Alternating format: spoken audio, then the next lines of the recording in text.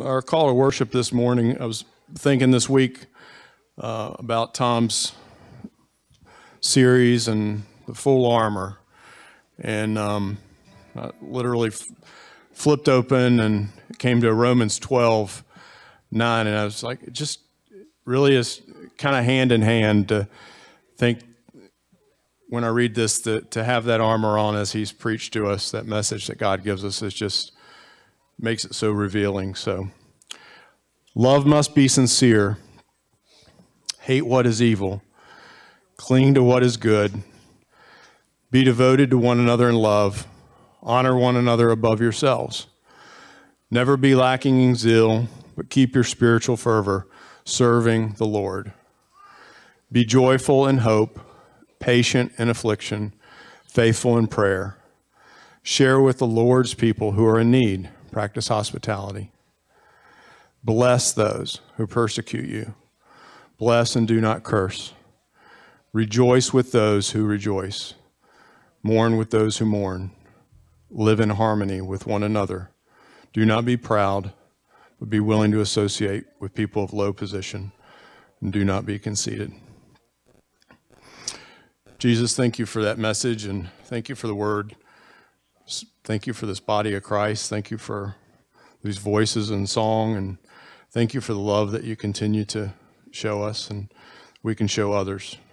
And even when it's hard and challenging and struggles and there's so much evil and just so many challenges, you, you give us what we need that we can trust in you to have that armor on to be ready for, for what comes at us. Thank you for that. We praise you and we love you. In Jesus' name.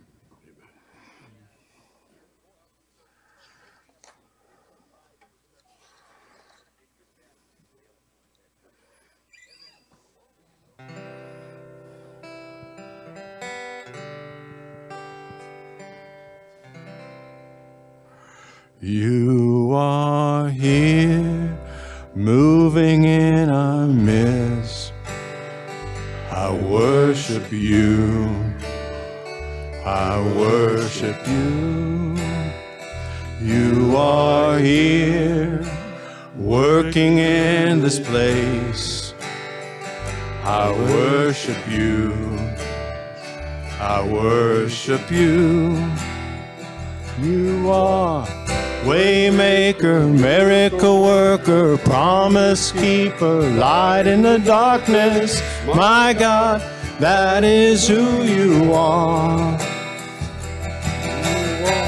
Waymaker, miracle worker, promise keeper, light in the darkness. My God, that is who you are. You are here touching every heart. I worship you.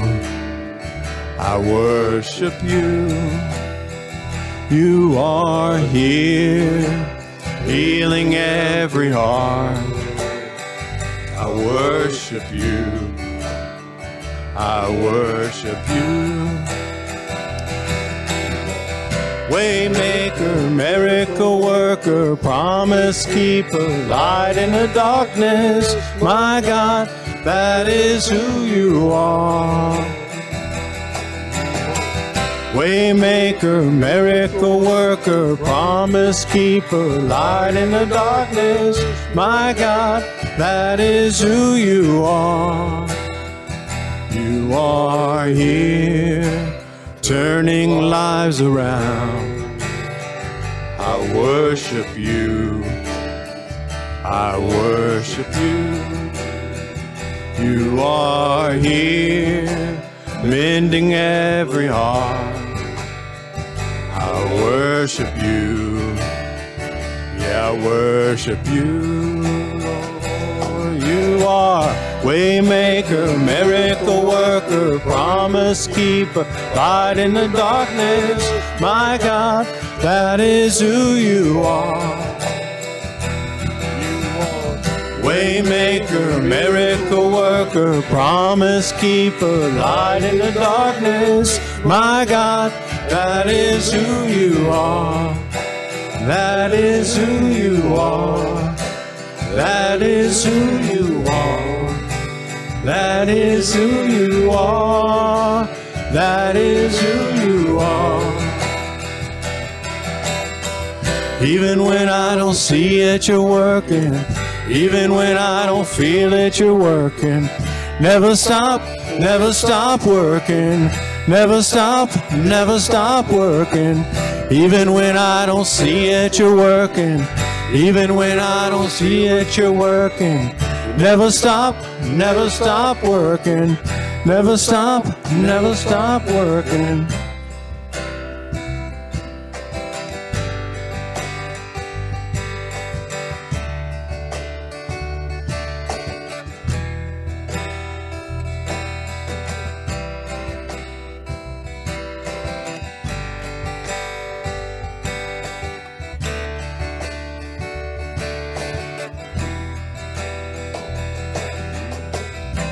Waymaker, miracle worker, promise keeper, light in the darkness. My God, that is who you are. Waymaker, miracle worker, promise keeper, light in the darkness. My God, that is who you are. That is who you are. That is who you are. That is who you are. That is who you are. Hmm. All sound great.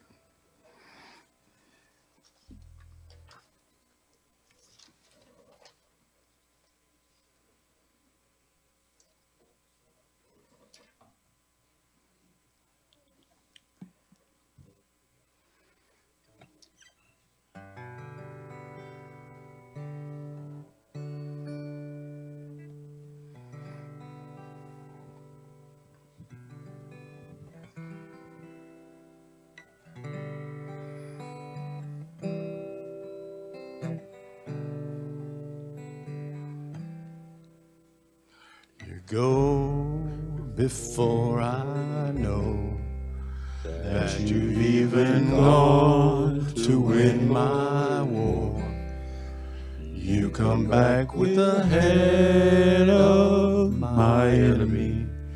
You come back and you call it my victory.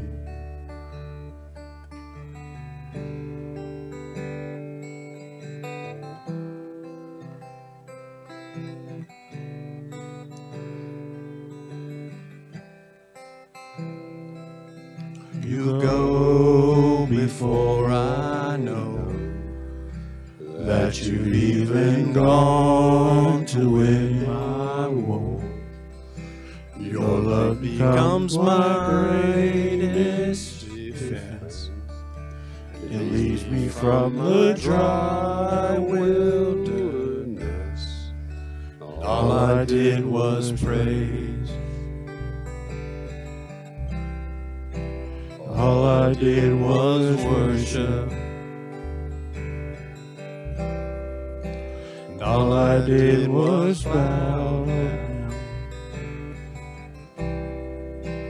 All I did was stay still.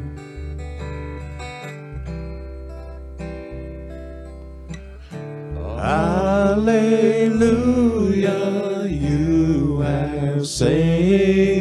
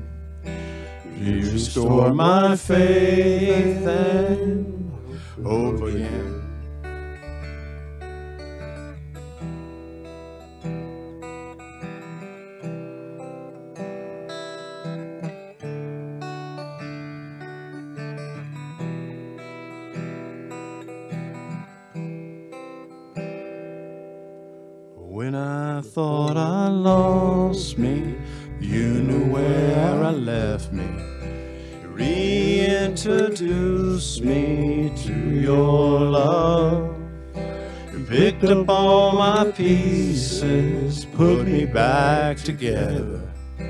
You are the defender of my heart. When I thought I lost me, you knew where I left me. Reintroduce me to your love. You picked up all my pieces, put me back together. You are the defender of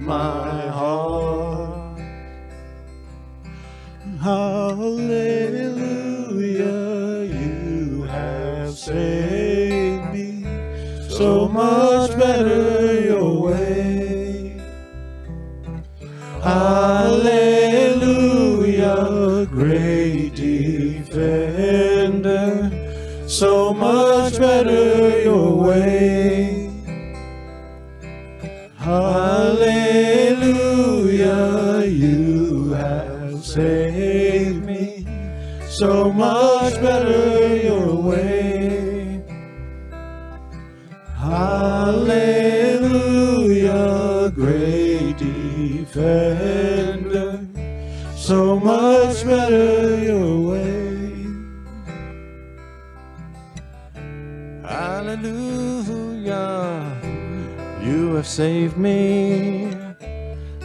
much better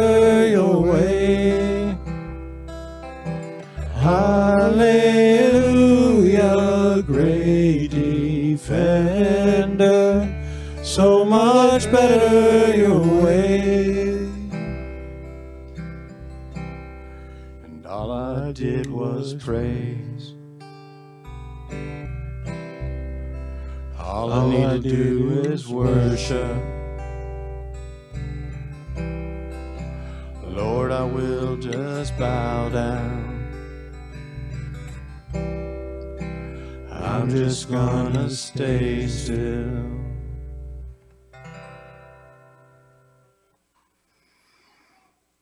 Okay, you can be seated.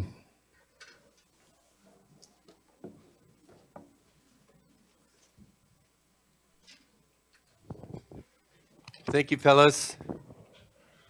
Love that. Breon, thanks for coming in on that last one. That sounded really good. Morning, everybody.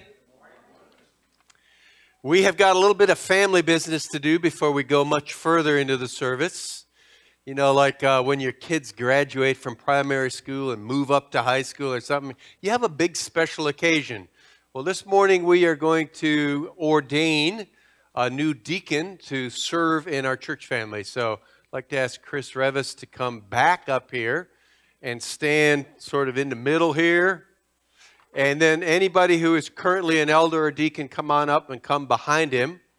And uh, we'll read him the right. I mean, we'll tell him what he's supposed to be doing in the coming years. And then uh, ask him to walk through some of his uh, obligations.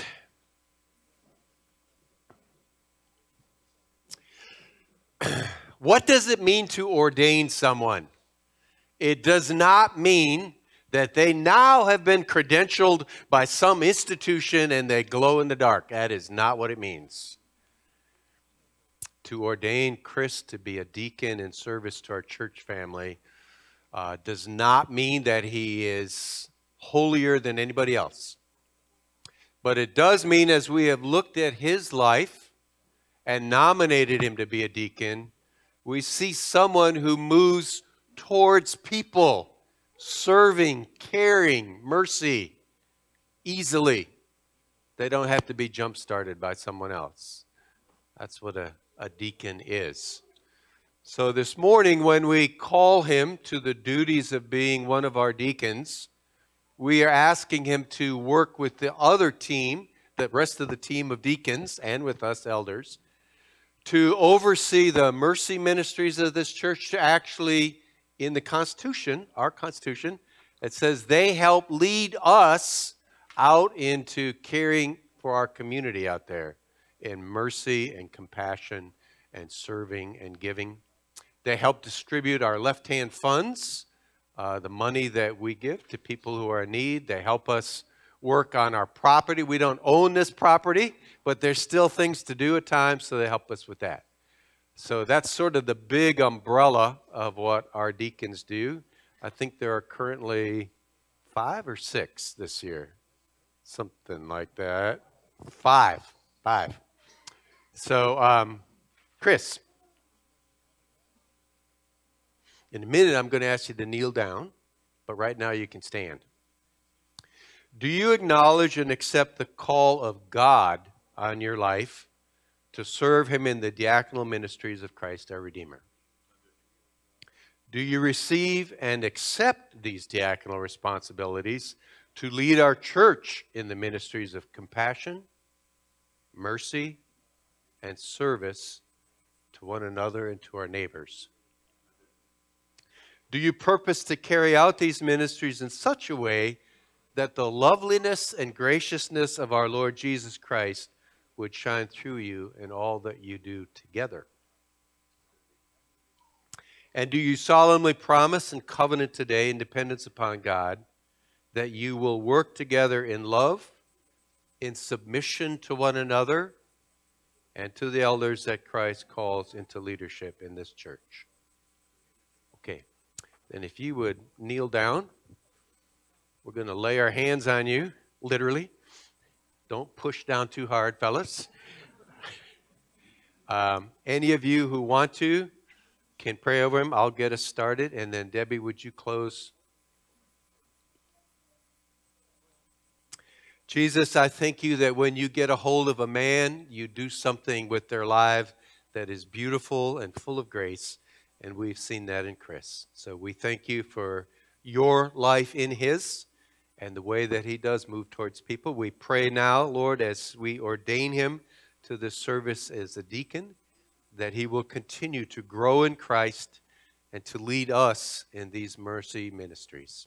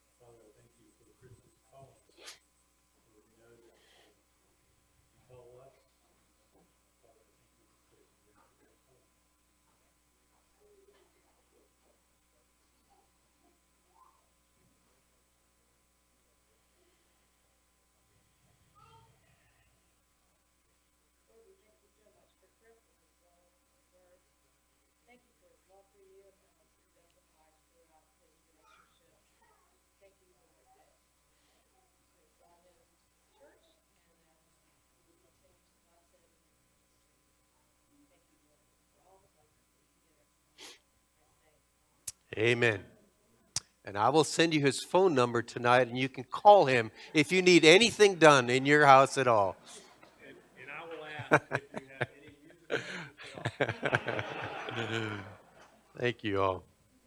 Sidebar, just a little comment. It is delightful to me to hear children in our midst. Okay? It is. It doesn't bother me at all. As long as it's a low roar and, and they're not dancing in front of me, that's part of our church family. So, okay?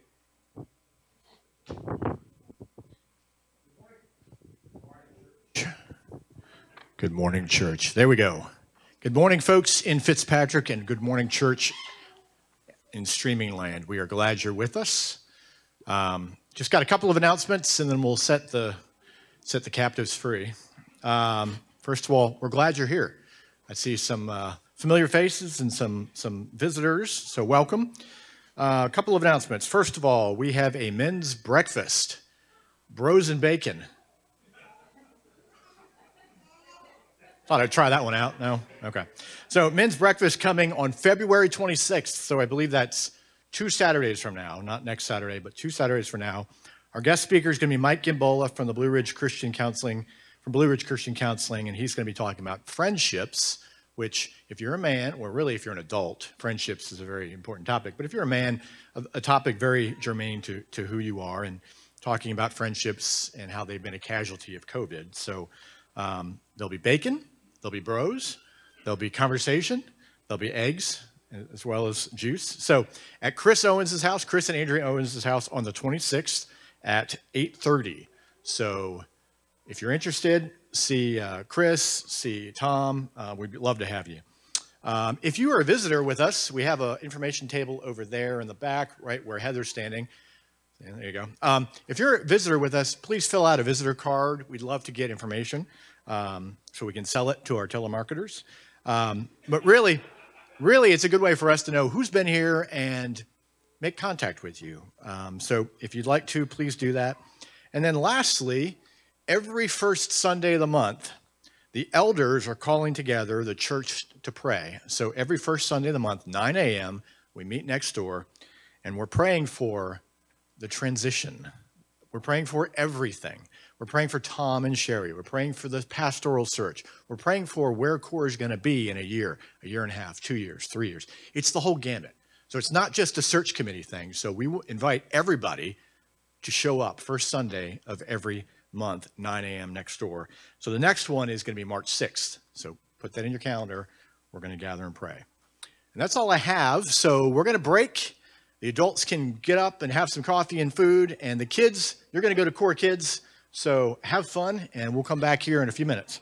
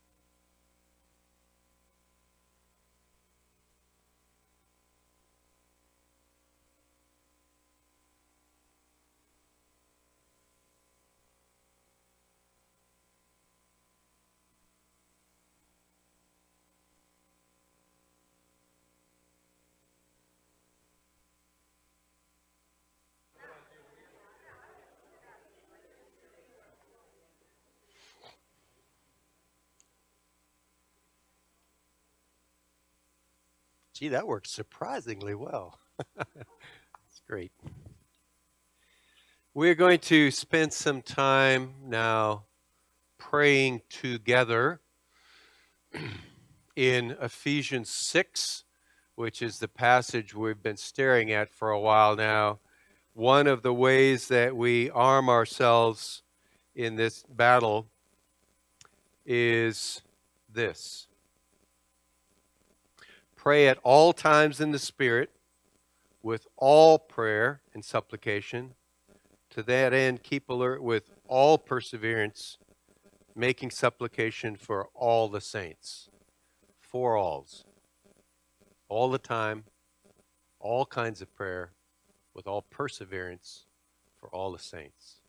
So, as we spend some time now as a church family praying together, there are some things on our hearts that are urgent and feel critical. The Petersons, who are our missionaries in Cairo, Egypt, their entire family has got COVID right at this moment. So, Joel, Elizabeth, Asher, Simeon, Nora, and Isaiah I think I did that right. They've all got COVID right at this point, and the parents are the worst in symptoms, so we are going to pray for them. In our own church family, cancer, COVID, chronic pain are plaguing some of us. You know who those people are.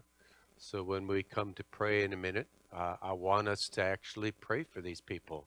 I'm going to ask you to, to just jump in when there's a silence and pray for somebody. One of the things that I want to say right now is this idea successful praying. Banish that thought. Success at all in anything related to spirituality is the wrong idea. We never do anything successfully. That's importing stuff from the world. We just pray. So we're going to pray for these people. I also want us to pray for our spirits. You know, there is a spirit of cynicism rampaging through our culture. Cynics. Pray against that. Paul, when he prays for the church, pray that your hearts would be strengthened. He prays that we would know Christ dwelling in our hearts, that we would know his love, his strength, and his power. So, not just for healing, although that's important, but praying for our spirits, for the power of the Holy Spirit in our midst, making us quick, making us alive, making us be who God calls us to be. So, we're going to pray now. That doesn't mean I'm going to pray. That means you're going to pray. We're going to pray together because we're a church family. So imagine you're all around your family table, and uh, before everybody rushes off to do schoolwork or jump in the car or whatever, you're going to have your dad say, okay, guys, let's pray about a few things. So that's what we're going to do right now before we get on to the next segment of our service. Okay? So you don't need to be invited any more than that. You don't need to raise your hand and take this or that or the other. We are going to pray now. Okay? And for those of you who are watching eh, in streaming land, I'm sorry you probably won't be able to hear all of these things, but know that in the midst of our church family, prayer is important, and we are gathered for prayer. So let's pray together. Lord, I want to begin by asking you to uh, heal Joel and Elizabeth and their beautiful family, heal them of COVID. Lord, though, even in their weakness, pray that they would discover ways that you are with them in suffering. That uh, is a beautiful thing. You are with us in those ways, unlike other ways. We pray, Lord, that even their weakness and vulnerability might be occasion for their neighbors to see them handling pain and suffering different. So, Lord, bless their ministry of the gospel in Cairo. Pray that this family will be used by you to bring others to saving faith in the Lord Jesus Christ.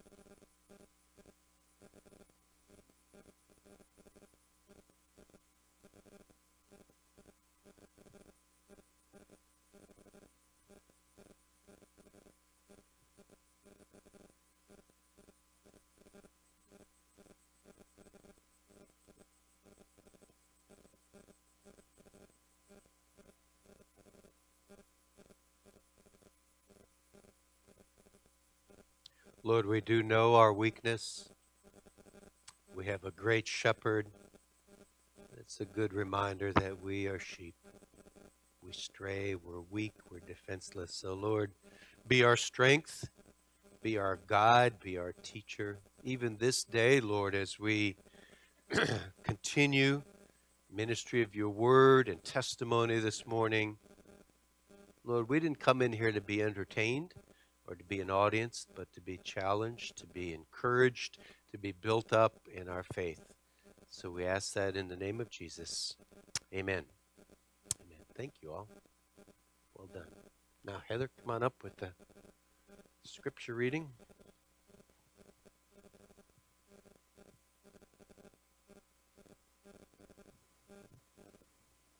Good morning.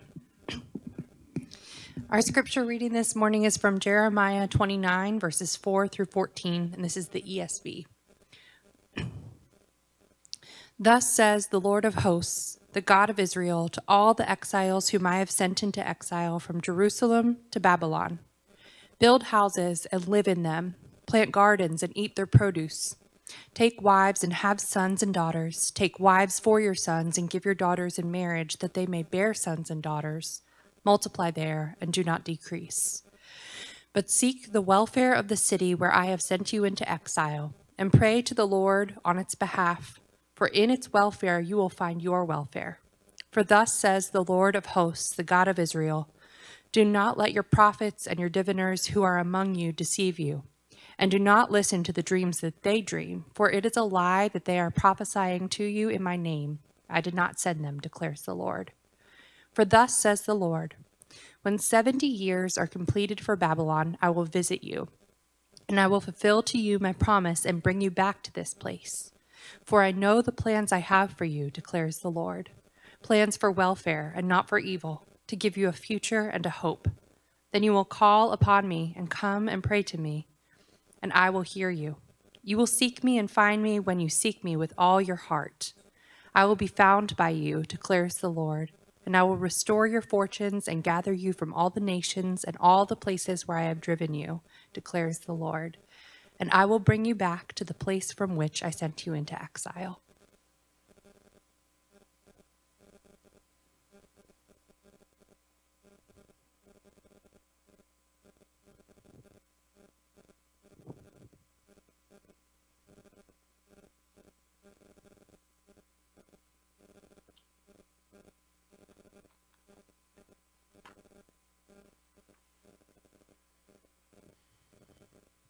Forgot to mention that I'm recognizing the Colin and Kim and their young men who have come back to visit us. What's it been, five years? Something like that. Vital part of our church family in years gone by. Welcome. Glad you're with us. And there's other visitors as well this morning. We have a very special guest this morning, Andrew Secrest. Come on up. He is the brother of uh, Dre, who leads us in music. He also works for World Relief Agency, which is an international humanitarian agency that we're going to hear a lot about this morning. The other side of Andrew and his wife, Amy, you want to wave your hand there? Um, they live in a place inside the city of Baltimore intentionally to make a difference there. That's why I had Heather read that passage from Jeremiah 29. In case some of you want to go, where was that again? That was Jeremiah 29. It's a very important passage. Seek the welfare of the city where I've sent you, because if it prospers, you prosper. Too often, as Christians, we think about, well, maybe I'll get my coworker saved, but we don't think about the well-being, the prospering, the uh, flourishing of our neighbors in our city.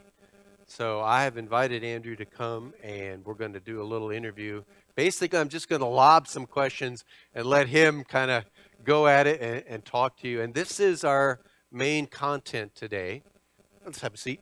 And um, the idea here is that I've been praying that what he shares a, in an interview format actually challenges our hearts actually kind of confronts us today. Uh, no pressure or anything on that one, but uh, uh, sometimes the testimony of someone who's actually on the battlefront can really provoke us to think about how am I living my life? And if I'm thinking about buying a new house, sort of what are the bullet points of what I'm looking for and why? So that's where we're going today. I'm really, really, really grateful that we have been able to work this out. We tried once earlier and COVID clobbered us, so we didn't make it then, but very glad that you're here. I was going to say real quick, um, I'm a little bummed that you didn't invite me up a month from now when there was going to be the men's breakfast with all that good food. So maybe next time. You can come back for Bacon Fest. um, so again, it, this is yeah. I'm just going to toss some stuff out here. Um, to begin with, tell us a little bit about your journey. You're a native guy, but nobody accidentally ends up working for a humanitarian agency. So a little bit of the journey that kind of brought you to where you are today. Yeah, that's great. Um, it's not the money. Um, that's not why I do what I do. Um, yeah, I am local though, so I yeah was born and raised in the same house my parents live in now. So I grew up grew up in Southwest County in Roanoke, Virginia, and um, honestly, I, I don't think there's anything special about me or my life or anything like that, other than the fact that you know by God's grace, as with all of us, I, I, think He begins to challenge and convict and grow us. And for me, I think a lot of my story actually, um, you know, even growing up in Roanoke, I would say it, it is God's grace that I grew up in a Christian household. But I, I do think there's also a lot of elements in which uh, there's a lot of things I didn't see growing up because I, I had a wonderful, uh, you know, upbringing, middle class, uh, all those things. And, you know, I think as I was growing, as I was getting older, um, I think I began to see different things where I said, oh man, I've, I've never thought about this before. I never knew people lived like that here. I never knew that there was this issue that people might struggle with there. Um, and by the time I got to college, I wanted to go be an international missionary. I read, went on lots of mission trips. Uh, I read some missionaries, you know, Jim Elliot, who went off and, and lost his life actually um, in missions. And um, the thing was, though, as much as I cared about that, I saw missions more as a trip than as an actual way that one lives their life. And I saw the church as kind of just a little bit of maybe kind of a, a place where weird, kind of weird people go. You know, I didn't really see the church as something that could actually change anything. I thought maybe Christian nonprofits would be the answer for that. Um, but but the church, what difference can the church make in their own community? So I went to seminary and I studied, I, I, learned Hebrew, I learned profound theological truths. But at the end of the day, the biggest thing that God taught me while I was in seminary is that He has called His church, His local body of Christ, to change the communities they are in. And that is how Christ will change the world. And I want to be a part of what does that really look like? Not just a, hey, I come to this little gathering on Sundays, I go home, I do it again the next week, but what does it really mean to be a part of the local church? Um, and so that's kind of what led me um, eventually to World Relief. So um, just a little overview, uh, kind of 10,000 foot view of World Relief. Uh, we are an organization that uh, we've been around since uh, for over 75 years. Um, we started right after World War II, actually, in a response to the devastation in Europe. You can imagine all the displaced peoples after World War II. And what drew me to World Relief, though, is our mission is in to empower the local church to serve the most vulnerable. Really, in a world that we would say is often focused on quick fixes, we really want to focus on, on lasting change. What does it really mean to bring lasting change, but to do that through the local church? Um, I, I, always say at World Relief, we make really great t-shirts. They're super comfortable. They're ethically sourced. I wear one all the time. But at the end of the day, we are not an organization that wants everybody to know World Relief's name. We want them to know the name of a neighbor from a local church who knocked on their door and reached out to them to love them. Um, and so we get to work actually both uh, around the world. Uh, so we work kind of in four major areas, uh, extreme poverty, um, violence and oppression, violence and oppression uh, with refugees and displaced peoples and in disaster response. And in any time when we're working, uh, in these areas, we're always asking, how do we help the church be the one that responds? Uh, but we also get to work in the US. We resettle refugees and immigrants. So you can imagine the past few months have been quite busy uh, with everything going on in Afghanistan. And so we get to, you know, I would really say kind of work both at the, the fruit level. When we see refugees and immigrants come, they're the fruit of a root cause that's happened abroad. But we also get to work at the root level in saying, how do we stop this from happening in the first place? Um, and, and, a good example of this, I think, just to tell a little story. So I, I have a coworker, and his name is Dermomo. And his story really hits me because Amy and I, we have lived uh, in Baltimore for five years. We finally feel like we're comfortable in our house. And um, I can't imagine having to, to leave that house in the snap of a finger. Um, but Dermomo, he grew up in the country of Sudan, and he is a believer. And as he was a teenager, um, he saw lots of violence that was coming specifically against Christians. Sudan is a primarily Muslim country. Um, and he told, he told us, uh, Dermomo said that he knew war. War is in his DNA. When he was born, he knew war. When he left, he knew war. Um, but one day while he was in Sudan, he heard that there was going to be a raid on his village. And so, what does a, a teenage boy do but runs to his dad? And he comes up to his dad and he says, Hey, what are you going to do? Can you protect me?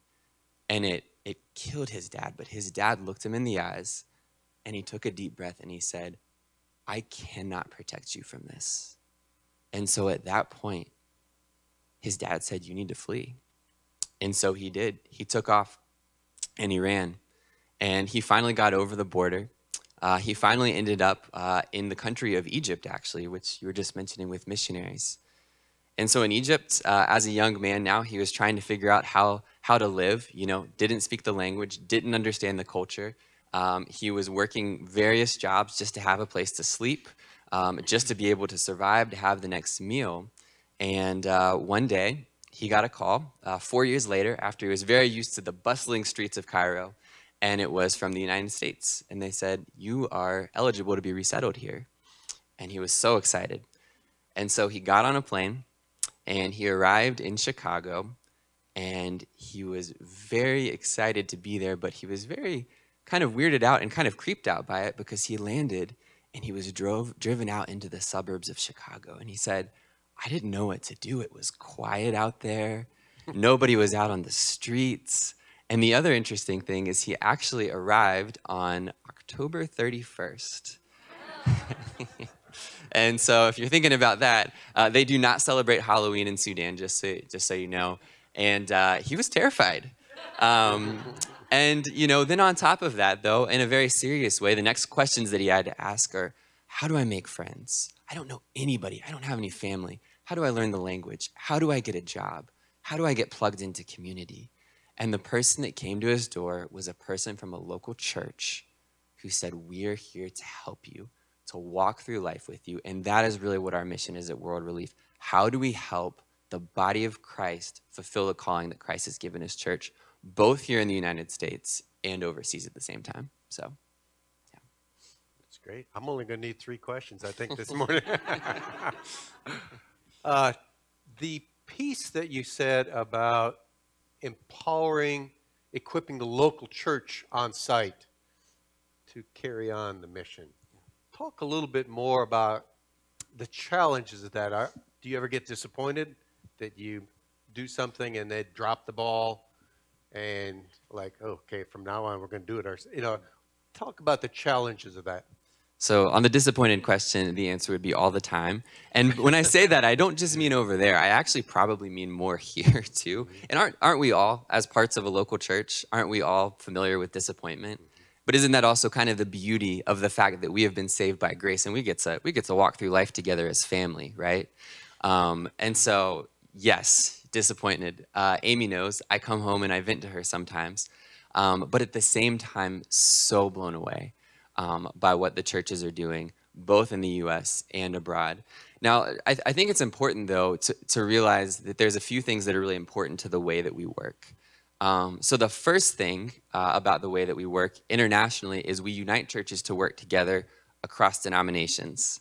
That is much of an issue abroad as it is here. You can imagine again, if we said, hey, we want every denomination in Roanoke that's a Bible believing Christian church to work together, sure, there's some ways that it's probably happening a little bit here, but it doesn't happen easily. Um, so we believe, though, that's so important in these countries because when they work together, they have so few resources. Many of the churches don't have buildings, but then they can begin to learn to work together based on their unity in Christ. Um, they may not agree on baptism, they may not agree on the structure of a church, but when they can agree on the basics of the Christian faith, they can do a lot together. So that's one that's really important. Another thing that's really important, though, when working with churches abroad as well as here, is beliefs. Um, at World Relief, we really focus, uh, we look at Jesus in Luke 6. Jesus says in Luke 6, a good tree will produce good fruit.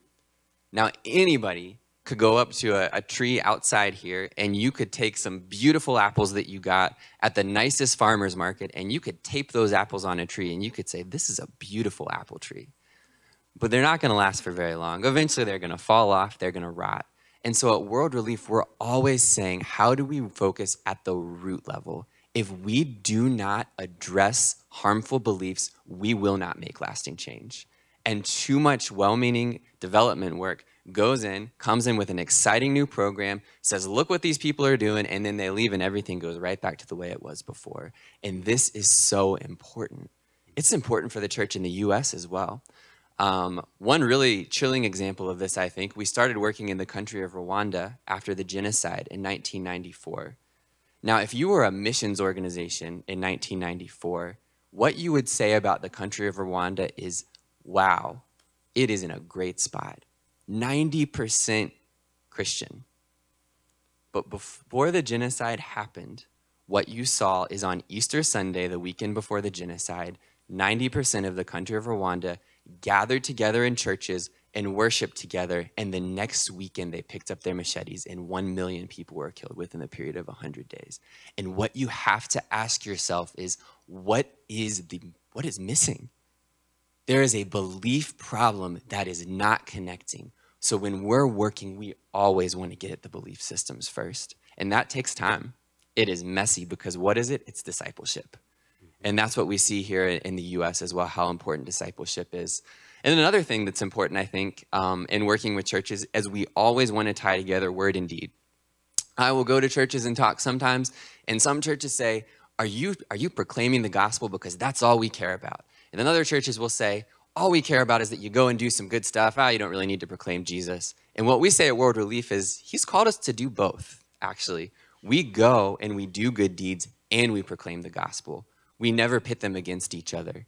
Uh, there's a kind of a, a theological, um, you could say, definition for what we uh, hold very closely at World Relief. It's called integral mission. Um, there's kind of a, a, theologian for World Relief. He's a South African man who um, came up with this term. It's called integral mission, and I'm, I'm probably going to butcher this, but to some degree it is, is ordinary people as the church, seeing people as Jesus saw them, proclaiming things and teaching things that Jesus taught with the motives that Jesus had and the outcomes that Jesus desired. And every single aspect of that is so important. Um, and so, again, these are some things that are very important as we're doing this work. But as we do, though, we begin to see just incredible things happening. I'll, I'll tell another, another little story. I was, um, I was in the country of, of Jordan. And uh, so you, you all know about what happened in Syria over the past many years. And I got to go to Jordan. Um, I don't know how excited my, my parents were about me. I was, I was, you know, 20 miles away from the Syrian border. And um, we were working with local churches uh, there aren't a lot. We mapped out every single above ground uh, church in the country of Jordan, as well as some of the underground churches. And uh, we wanted to help them minister to Syrian refugees. And I was got to go visit this Syrian refugee family. And it was a heartbreaking story. We went into their house. This man was a, uh, he, he had a whole business back in Syria. Actually, people in Jordan said that they used to go vacation in Syria because Syria was beautiful and green and mountains. But then after the war broke out, it was most of the country was devastated. And uh, this Syrian man and his wife, they had kids. And the way he made money was he would go out every morning and he'd find the trash in the ground and wood scraps, and he would try to make things out of the trash and sell it. That was how they uh, made a living. because they didn't have anything else. And um, as we were sitting there with them, um, we began to talk, and he began. They were sharing coffee with us, everything they had. It was very strong coffee. It was kind of hurting our stomachs, but you can't turn it down when they continue to give it to you. And um, as they were talking, they um, a lot of Syrian refugees that came across the border. They'll wear a key, and the key is the key to their house. And I don't know if you can imagine if you had to leave your house, but they'd wear it and they'd say, "This is the key to my house. I'm going to go back there someday." And uh, they were talking to us and the man told us he said hey we live in this this village and we knew. That village doesn't exist anymore. Um, they said oh yeah we've been trying to contact our family there but we knew that their family probably wasn't still alive. Um, and as we were talking um, what he told us is he said i don't know why these people are doing it but these these christians in jordan are loving us in a way that we've never been loved by anybody in our lives um, and this is the kind of thing that we want to help the church do. Um, and it was a, at a risk to some degree for the Christians in Jordan to step out. Um, so, anyways, that's a little bit more kind of on that front. Great. Yeah. Great. Uh, back to the T-shirt thing. A lot of people go on mission trips, come back with a T-shirt. The challenge is how do you bring back the concepts and the passion that you experience on the mission field? How do you bring it back to Baltimore? So uh, this is opening the door for you to talk here a little bit about sort of you and Amy's intentional choices in Baltimore and kind of move us into that segment of your life. Yeah, that's a great question. So I'll start. I'll start at the mission trip side of things, and then you might have to pull me back to Baltimore because that's where I want to go. Um, so Before six o'clock tonight, right? True. Before, yeah. yeah, I'm trying to drive back and make it in time for the Super Bowl. So, um, anyways, um, yeah, the mission trip thing. So, mission trips can be good. Mission trips can be very useful. Mission trips can also be very damaging um, as well. Um, but honestly, I was uh, the Lord used a mission trip to Nicaragua for me to to really grow my heart for people. Um, I think something that's so huge as we go on mission trips is to realize that we're, you know, we're not just giving, but we're receiving. So, what are we learning what are we learning as we're going on mission trips? Because at the end of the day, if you go on a mission trip to anywhere around the world, you might be so passionate about that place, but if that's not where you live, as of that day, that isn't where God's called you. He's called you to be right where you are. It doesn't matter. It doesn't matter what you're doing, what job you're working, how useful you think you are or you aren't. God has called you to be where you are. And if He moves you, then He's called you to be there. Um, so I think one thing on the mission trip front um, is understanding and bringing back learnings that we have from the spot that we visited. Uh, we had a team in Seattle actually go to Haiti, um, and they sent a team just to learn from the Haitian church, literally not to do any work for them. They didn't build any houses, they didn't paint any fences.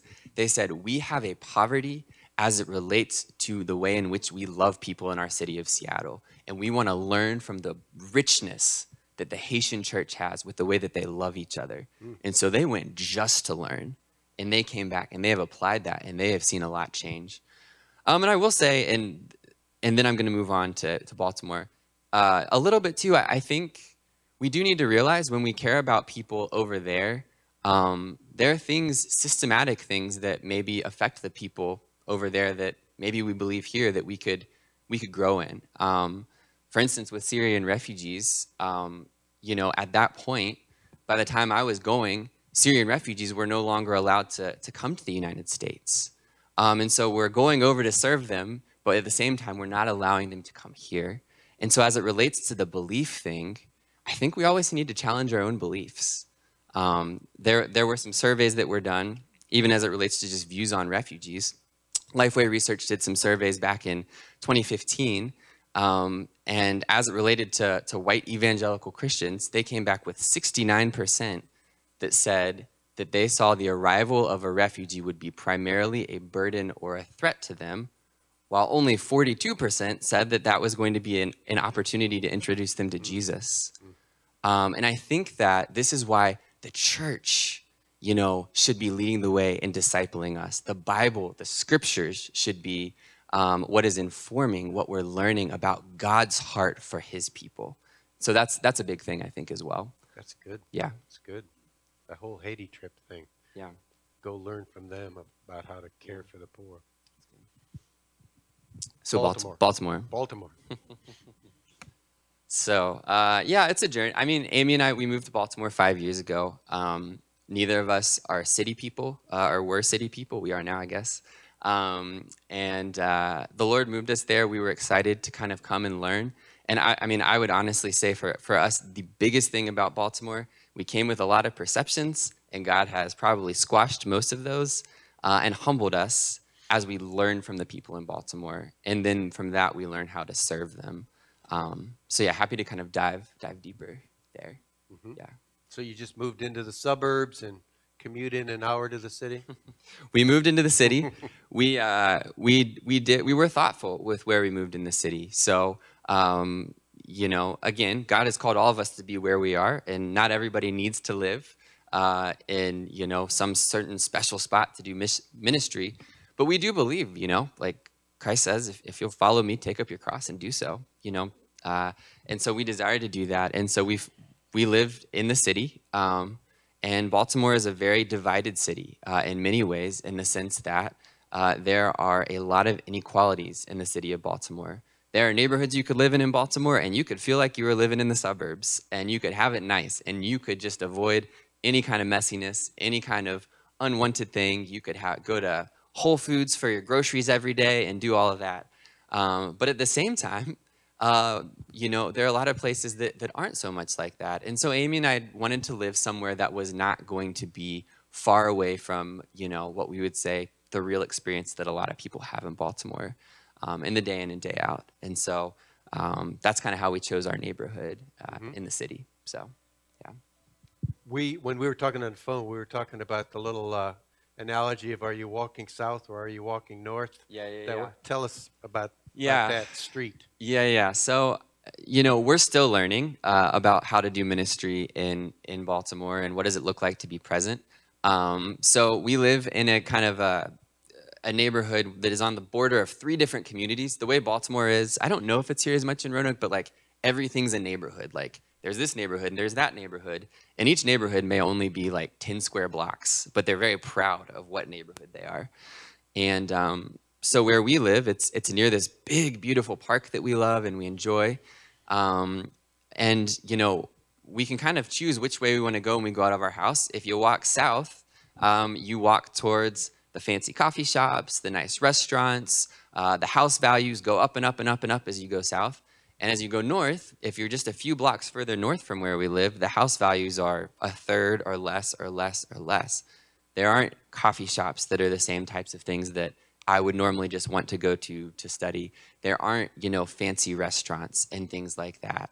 Um, and so I think as we're thinking about intentional living, the question is, is, is you know, I could always I could always just go out of my house and walk south. I could just go and say, "Hey, this is easy. This is where I'm naturally drawn to. I like these things. I like that food. I like that coffee." But at the same time, if I did that, I would be ignoring a whole other part of my community that God's called me to. And so for me and for Amy, you know, some of the things that we do is say, "Hey, I'm actually going to go walk north. I'm going to go on a walk. I'm going to go to the park 3 blocks up. You know, I'm going to go, you know, even though that there's yeah, just things that maybe wouldn't always seem as desirable. But what we've realized is as we do that, is it's actually quite beautiful up there too. Now there may be police officers who are stationed out there more. There may be this, that, or the other going on. But at the end of the day, um, we really believe that God has called us not only to care about, um, you know, just being where we are, but to care about those who are more marginalized. Christ always focuses on marginalized groups in his ministry. And so, how do we also do that? Well, part of the way is just to be around them. Um, so another big thing we do is we just sit outside. We have a bench on our front porch. You sit out there and you watch the world go by. And you talk to whoever comes by. Um, this this is you know what ministry looks like. I feel like in so many ways. Great. So Tell us a little bit about Amy's. She has a master's in public health. Is that right? Can you share a little bit about what, what that looks like in the city? Yeah, so Amy, yeah, she works uh, with, with the city for an initiative called B'more for Healthy Babies. Uh, she has her master's in public health and really is focused on reducing the infant mortality rate in the city of Baltimore. Um, again, there are massive inequalities in the way in which people receive care and treatment in the city of Baltimore. Um, and so Amy is always focused on connecting uh, in her work, is connecting those people who are overlooked, who are marginalized, to the services that they can receive. Um, and it really is so important. You could, um, you know, as you look at the city of Baltimore as a whole, you could put it on a map uh, and you could look back at the way that the, the whole city was redlined, uh, which shows how people of color were not allowed to receive home loans um, in all of these neighborhoods. If you put that map up and you look at it to this day, you can still see the poverty that has come from that. Um, and in Baltimore, you know, people are will oftentimes focus on the areas that are nicer and are easier. Even with church plants, when people come in and want to plant a church, they'll plant a church in kind of the nice part of town, the hipster part of town, the cool part of town. Why? Because it's easier. Um, but so often we are not called to just go where it's easier. We're actually called to come and learn and see what God's doing in places that maybe we would have never considered. And I think a big uh, example of this is the church that we go to. Um, so we're in a neighborhood. Um, it borders the Sandtown neighborhood. I don't know if you have heard of Freddie Gray uh, in Baltimore City many years ago. It's the neighborhood that he grew up in. Um, the average household income in the neighborhood where our church meets is under sixteen thousand dollars. Um, there is a lot of there are a lot, plenty of issues and plenty of different uh, reasons why somebody might say, "I'm not going to go move in there." A lot of people in our church have moved into the neighborhood. They've bought houses there. They live there. Um, you know, there's a woman from our church. Her name is Aisha she grew up in Baltimore. She's already seen all of that stuff. And she said, All I want to do is get as far away from that as I can. But her and her husband felt convicted to say, No, we're going to move into this neighborhood. They spent their whole life saying, We're going to get out of this. Hmm. And they finally decided, We're going to move into this. From their house, every morning, they can look out their window and see the corner boys selling drugs. But they realized, you know what? Those corner boys selling drugs need Jesus. I have another friend named Mike Roach who does the same thing. He uh, he's a big guy. He's you wouldn't want to mess with him, but he has a couple creative things that he does. One thing he does is he stands outside, he brings his boxing gloves, and he goes up to the corner boys and he says, "Hey, you want to learn to box?" And he boxes with them, and he draws crowds, and he builds relationships. Um, he brings his Xbox outside and plays video games with people. Um, and what that has led to is that they've actually invited people, and they have two young kids they have invited these people into their house to come and dine with them. And you might say, man, that sounds dangerous. But and, and I'm not saying I'm not saying to be unwise, but this is what Jesus did for us. We were the people who were on the outside. And what does the word say when Jesus gives the example of the banquet? It says that we're to go out and invite people in that we might dine with Jesus. And so this is a picture of the gospel.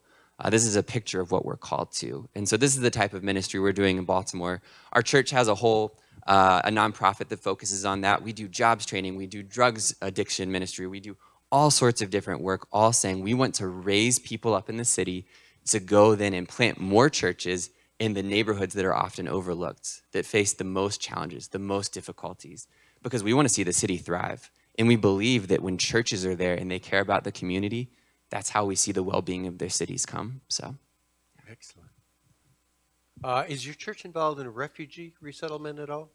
Um, our church is not directly, um, but um, yeah, but yeah, Amy and I obviously are really quite involved in that, and um, yeah, we, we haven't seen a lot on that side of town of refugees coming, but um, we are always looking for ways in which we can can do that kind of ministry as well. Andrew, I found your comments already this morning extremely challenging, thought provoking. But is there any final word? You're you're a native. You're a Roanoke boy.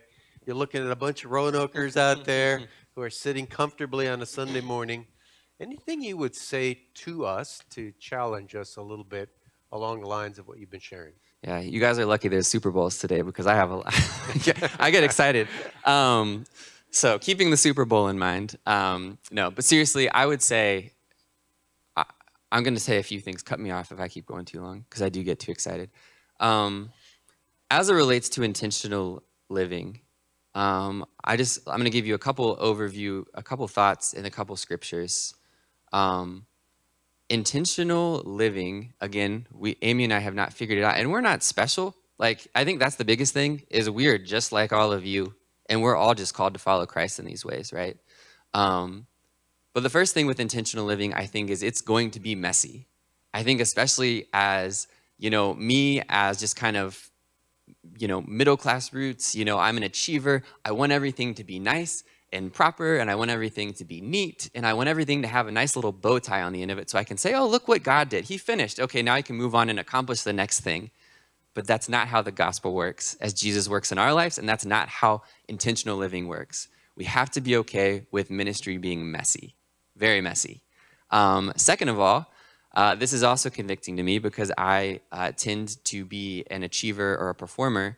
Um, we need to have margin in our schedules. How often on our to do list is our to do list so full of things to do that we don't have time to do what God might want us to do?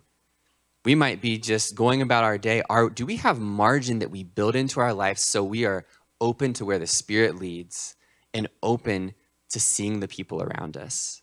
Um, and and that kind of builds into, I guess, my my third uh, my kind of third thought, which would be um, that we do it together. This isn't something that we all go out as kind of rogue Christians and say, "I'm going to reach the world in this way, you're going to reach the world in that way." Um, even here in Roanoke, what does it look like for groups of people at COR who are passionate about certain things, who are gifted in certain ways to say, we're going to come together and we're going to read these books and we're going to listen to these podcasts and we're going to figure out what's going on in this area of our community that we've never thought about. And you know what? We're going to figure out what God's calling us to do and then we're going to go and do it. What does it look like to do that together? Um, because we are a body, we're, we're the family of God. We get to do these things together. Um, and then my, my kind of final thing would be intentional living is not so much a product of strategy as it is a product of theology. And you might say, all right, Andrew, what do you, what do you mean by that? When we hear the word theology, we think, oh, seminary, Greek, Hebrew, justification, sanctification. Here's what I mean by that theology, knowledge of God, of who God is. Our intentional living, if it is driven by strategy, will always end up turning into programs that quite often aren't going to impact the people around us. But if our intentional living is driven out of God's heart, first of all, for who God is, and second of all, for who God has created people to be, everybody in his image, then we will actually be able to do sustainable ministry. Here's an example. Amy probably told me not to say this because it may not make sense. So if it doesn't, then she was right. Um, you know, in, in, my work at World Relief, I see people get excited about things all the time because you know what? The biggest, the next big thing is in the news. And then two months from now, the next big thing will be in the news. And then two months from now, the next big thing will be in the news. And I get so frustrated because what, what happens is we just move from thing to thing. And it's kind of like so, Amy and I have this little tree pit out front of our house. Uh, there's one tree in it, and we take care of it with pride. We grow plants, and so we had an idea we're, we're going to get a bird feeder. So we got this bird feeder, and we filled it up with bird seed. We put it out there and hung it in the tree, and there were no birds. A week goes by, still no birds. And then one day we look outside, and there are, like, I'm not kidding you, 25 finches just attacking the bird feeder. And literally within a day, all the food was gone. I think so often Christians are like those finches. We come when there's some big thing, and then when it's all gone, we just move to the next big thing. But we are not called to be driven by just the quote unquote big, exciting thing. We are called to be driven by the very heart of God. This is how we live consistently, not even for just feeling bad for people. That's not our primarily our primary mission. Our primary reason we do it is out of a love for God and who He is. And then we see people. Um, and then as, as we do that, then we see people as Jesus does. You know, in Matthew 9 36, Jesus says, He saw them and He had compassion on them. The thing that I think I would want to leave you with is do we see them? Who do we see?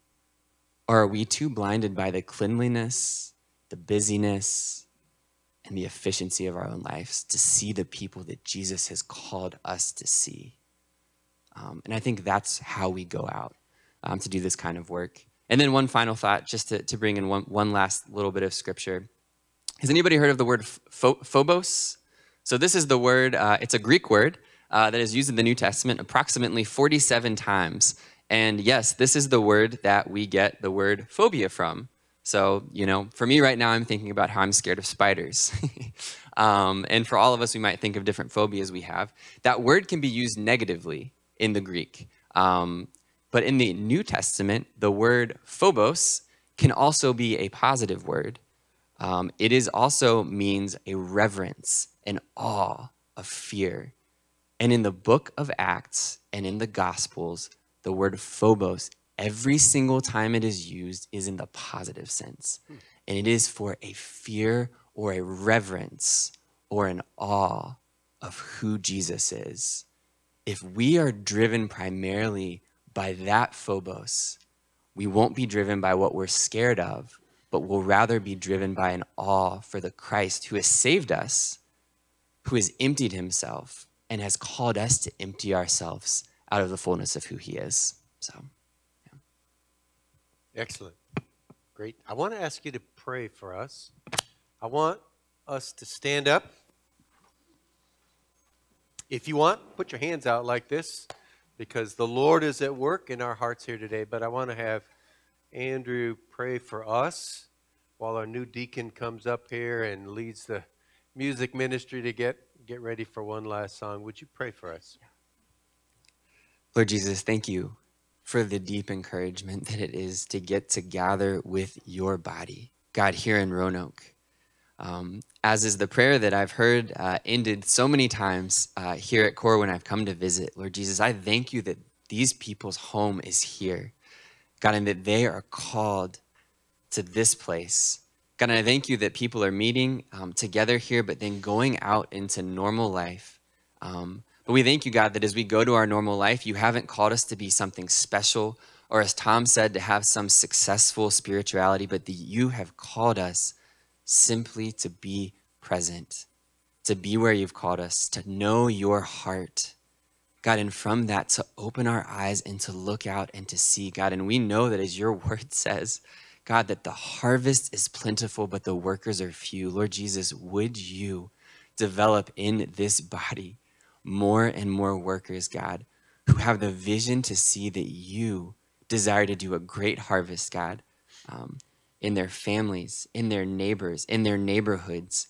God, and among overlooked populations in this city, Father, who are waiting for people who love you to come and to love them in your name. Lord Jesus, we pray that you would continue to do a mighty work um, and just encourage us, God. It can be hard, it can be messy. Um, Father, we just pray for perseverance. And Lord Jesus, I thank you, um, God, that your word says um, in Colossians 3.12 to put on as your beloved, God, a heart of compassion. Would you give us this morning a heart of compassion that sees people as you do? It's your name I pray. Amen. Amen. Thank you, Andrew. That was terrific. Glad you were with us. Um, I'm going to ask Prina tonight or tomorrow to send out his email address. So if you want to follow up, get in touch with World Relief or the, their work, uh, Prina will send that, that out to you. Okay? Let's do our last song here.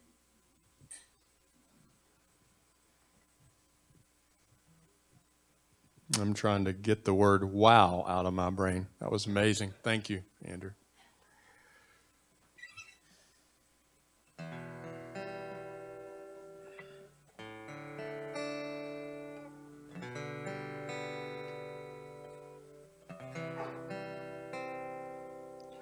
There's a place where mercy reigns and never dies. There's a place where streams of grace flows deep and wide. Where all the love I've ever found comes like a flood, comes flowing down. At the cross, at the cross, I surrender my life. I'm in all of you. I'm in all of you.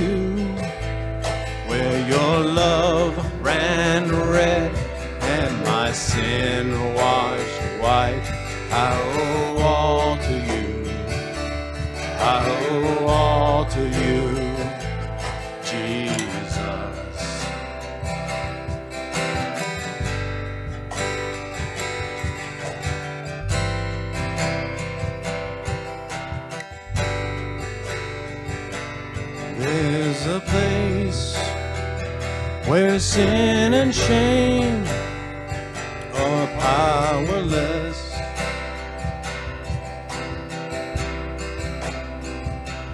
Where my heart has peace with God and forgiveness. Where all the love I've ever comes like a flood, comes flowing down. At the cross, at the cross, I surrender my life. I'm in awe of you. I'm in awe of you. Where your love ran red and my sin washed white. I. I owe all to you. Here, my hope is found here on holy ground. Here I bow down. Here I bow down. Here, arms open wide. Here, you saved my life. Here I bow. I bow. At the cross, at the cross, I surrender my life. I'm in all of you. I'm in all of you. Where your love ran red and my sin washed white. I will all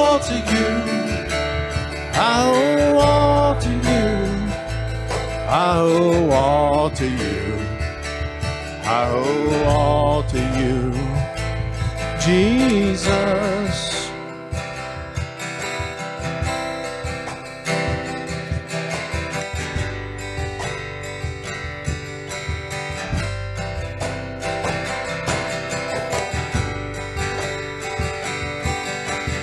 Here, my hope is found here on holy ground.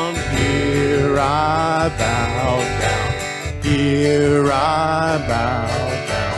Here, arms open wide. Here, you saved my life. Here I bow down. Here I bow down. Here, my hope is found here on holy ground. Here I bow down. Here, arms open wide. Here, you saved my life. Here I bow down. Here I bow down. Hmm. Amen. Thank you all, church. Go now to the benediction.